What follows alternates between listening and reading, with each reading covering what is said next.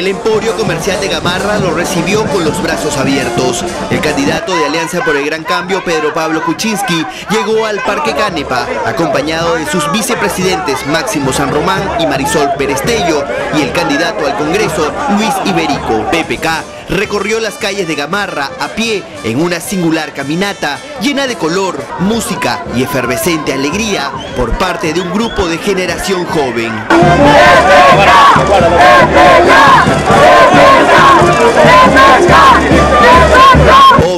Mujeres y niños se acercaron hasta el candidato presidencial dando muestras incondicionales de cariño.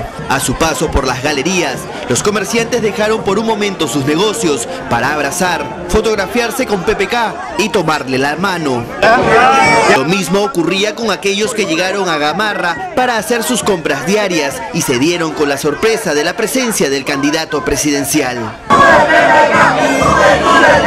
El espontáneo saludo de las personas hicieron que PPK dejara de lado el resultado de las encuestas y se aferrara al timón de la victoria. Sabe que en este camino que falta por recorrer en la campaña electoral tendrá que acelerar el paso para llegar a Palacio de Gobierno por el bien del país. El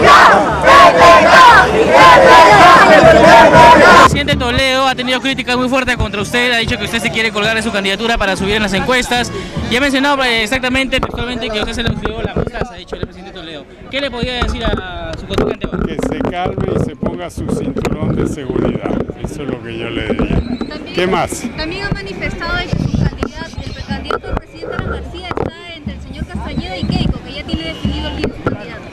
Bueno, eh, yo voy por mi cuenta, yo soy un independiente que lidera esta alianza y queremos el gran cambio y vamos a seguir trabajando. Él ha manifestado que usted lo cuestiona, siempre su propuesta porque usted no sube en las encuestas y que dice que pena, ¿no? que no suba, pero no es mi culpa. ¿De quién? De... El señor Toledo, Alejandro Toledo. Miren que se calme, tenemos muchas semanas antes de la gran encuesta del 10 de abril. ¿Ya? Muy bien, bueno, lo que se necesita es tres cosas. Seguridad, IGB más bajo y que todos estos empresarios puedan ser formales para conseguir crédito más barato. ¿Hasta cuánto se podría reducir el IGB en un eventual gobierno? En una primera etapa, que serían los próximos cuatro años, 15%. Eh, ese adicional que se dejaría de Va a haber- percibir. Va a haber más contribuyentes y vamos a recaudar mucho más. La alcaldesa de Lima ha propuesto que los alcaldes designen de las delegaciones. ¿Es parte de esta iniciativa que Designar a los... com- los comisarios de las delegaciones subsidios?